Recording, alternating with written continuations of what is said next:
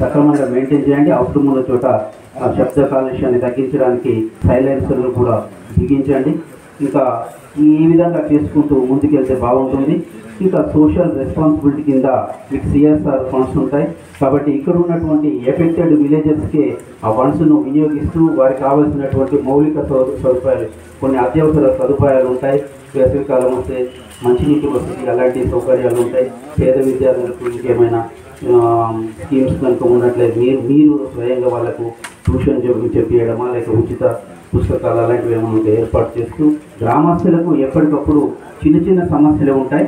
వాటిని తీర్చండి. దానికి గాను మీరు ఒక కోఆర్డినేషన్ కమిటీ విలేజెస్లో ఉన్నటువంటి ఒక ఇద్దరు ముగ్గురిని తీసుకొని మీ కంపెనీ నాలుగు కంపెనీ నుంచి కొందరు బాధ్యులు చేస్తూ ఒక కమిటీ ఏర్పాటు చేసి ఎందుకంటే మనం సమస్యలు ఇప్పుడు చెప్పుకునే విధంగా ఉండవు. ఆ క్వారీ రన్ అవుతుంటే వేరు వేరు రకాలుగా వస్తాయి కాబట్టి ఆ సమస్యలు నాకు ఆ కమిటీ ద్వారా మీరు ఆ సమస్యలను తీర్చుకుంటూ ముందుకెళ్తే బాగుంటుంది.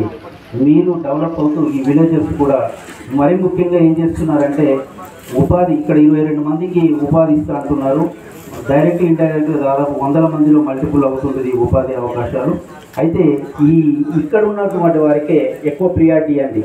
ఏదో చిన్న చిన్న ఏదో ఐదారు పెట్టుకొని మిగతా టెక్నికల్ ఎక్కడి నుంచో పెట్టుకోకుండా వారికి కావాల్సిన ట్రైనింగ్ అవసరం అనుకుంటే ట్రైనింగ్ ఇచ్చి ఇక్కడే లోకల్ వాళ్ళకి ప్రియారిటీ ఇస్తే వారు కూడా మీరు సహకరించడానికి మీకు సహకరించడానికి అవకాశం ఉంటుంది.